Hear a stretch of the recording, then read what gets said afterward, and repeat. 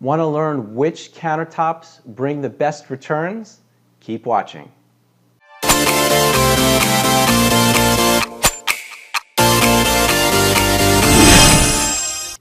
Kitchen renovations are notorious for breaking the bank, but they don't have to, especially if you're well informed. Hi guys, Nick Casamassimo here.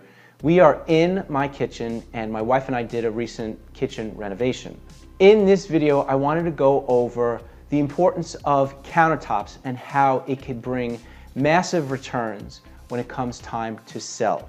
As a broker, I've seen buyers fall in love with a kitchen and put in big time offers. Now think about that. If you have a killer kitchen with killer countertops, you could truly boost the value of the home big time.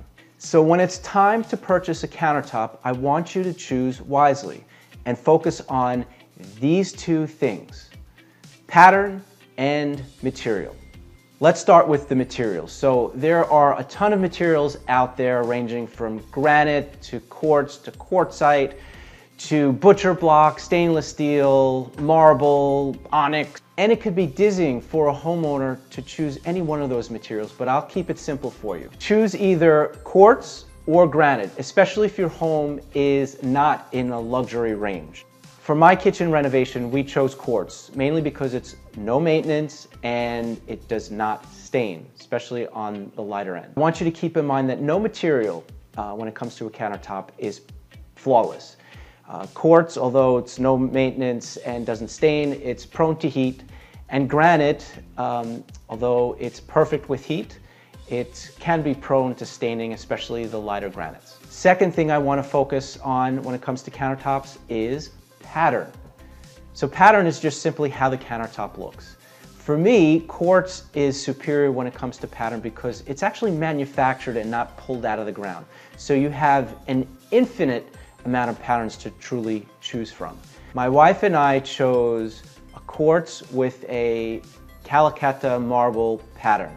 For us, that was really cool because I think that sort of pattern is a timeless, uh, very refined, and anyone that walks in, especially a buyer, is gonna like that. It's not gonna go out of style in five or 10 years. So that was really important to us.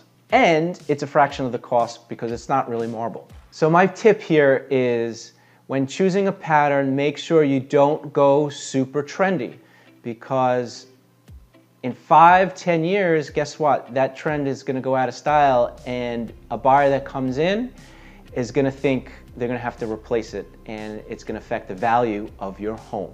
Now that you picked out your material and pattern, it's easy to blow your budget on the add-on costs. So for example, when it comes to the edge of your countertop, you don't need to bevel it in intricate patterns. You don't need to do a waterfall feature. Um, those things are gonna be an extra cost to you. And to be honest, although they look nice and pretty, a buyer that comes in is really more concerned about the material and the overall pattern. So if you pick a great material and a great pattern, you're gonna satisfy any buyer, I promise. Before I go, I have one bonus tip for you. And that is if you have multiple levels of countertops, just remove the extra three quarter bar top and have it all one level. Doing so will open up the space and allow people to see more of your kitchen. And there you have it. Don't underestimate the power and beauty of a countertop. If done correctly, you will be able to showcase your kitchen, which in turn will attract a lot of buyers when it's time to sell. And that means higher returns on your investment. Don't believe me? Well, I have before and afters of my kitchen and I'll let the numbers speak for themselves.